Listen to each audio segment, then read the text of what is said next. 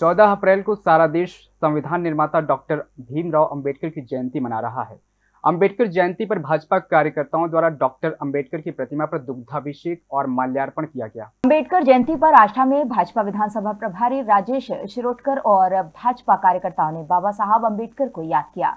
उन्होंने कहा, अपने संपूर्ण जीवन को निछावर करके भारत को एक सूत्र में पिरोने वाले बाबा साहब आधुनिक भारत के निर्माता हैं। भाजपा नेताओं ने बाबा साहब अंबेडकर की प्रतिमा पर दुग्धाभिषेक और माल्यार्पण किया।